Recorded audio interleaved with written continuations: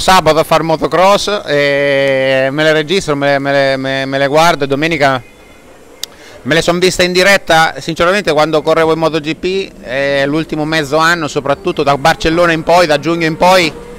Decisi di, di, che per me era arrivato il momento ho detto eh, probabilmente nemmeno guarderò più le gare dalla MotoGP. Invece dal 2022 stare a casa o in America mi guardo anche le, le FP1, comincio a guardare tutte, chiaramente la MotoGP mi è rimasta nel cuore e l'ho vista sia sabato che, che domenica e, e Pecco ha fatto, ha fatto, veramente un lavoro eccezionale e dopo aver vinto due mondiali probabilmente adesso è il pilota più in forma che esiste.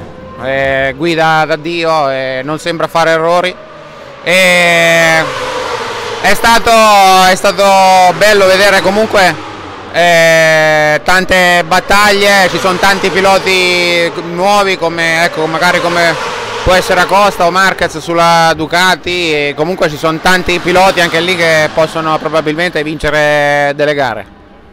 Grazie. Grazie.